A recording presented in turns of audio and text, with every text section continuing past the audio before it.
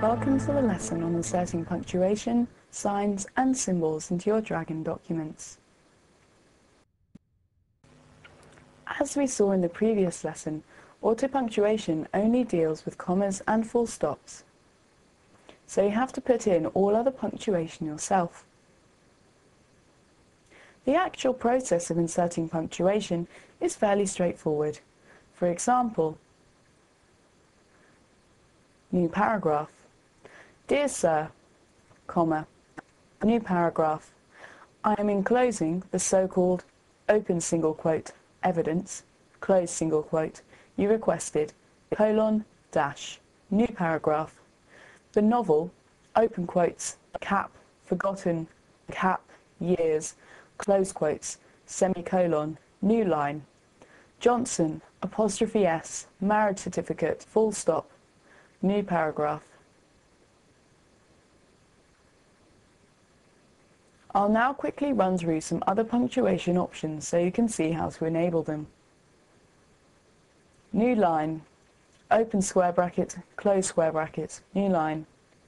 Left curly bracket, close curly bracket, new line. Note that left and right can be used interchangeably with open and close. Open angle bracket, close angle bracket, new line. What question mark, new line. What, colon, dash, new line.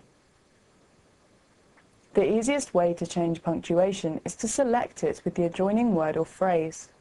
So, for example, the red, comma, white and blue flag. Select red, comma, red dash. The same method can be used to delete punctuation, though alternatively you can use the insert and backspace commands red, comma, white, comma, blue and green flag. Select red, comma, red. Insert after white comma, backspace. So as you can see, inserting and editing punctuation is easy, and it's just as easy to put in symbols. Quite often, with symbols you just need to say the symbol name followed by the word sign.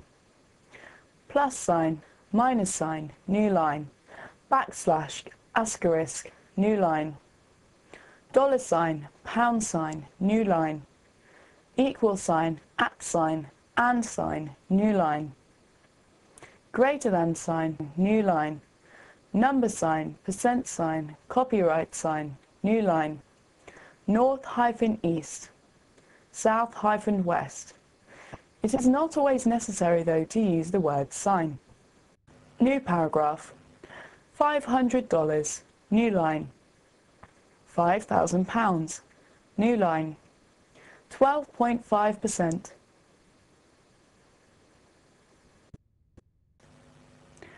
And that look at inserting punctuation, signs and symbols into your documents brings us to the end of the lesson.